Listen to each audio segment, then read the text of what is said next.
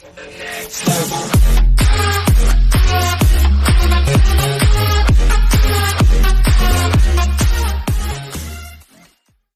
of Thrones Jon Snow and Amp Ghost Goodbye See, The Last of the Starks was a heartbreaking episode to say the least. Along with the burning, fans were quick to call him out for his treatment towards Ghost, especially furious at Snow's decision to abruptly give him up and just ride out of Winterfell without giving the dire wolf a proper goodbye.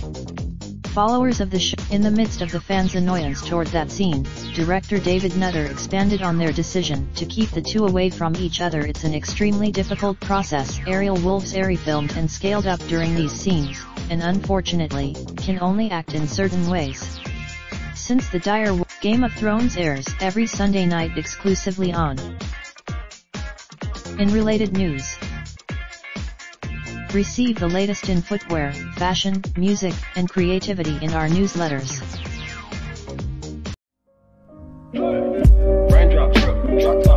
Smoking, no cooking the hot. Fucking on your bitch, yeah, that, that, that. Looking